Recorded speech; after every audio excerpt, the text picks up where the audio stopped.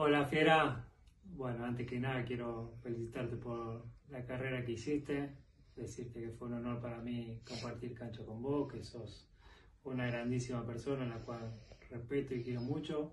Y nada, se termina una etapa, empieza otra y, y ojalá encuentre algo que te llene como lo hacía el fútbol hasta ahora y desearte todo lo mejor. Te mando un abrazo grande y nos vemos pronto.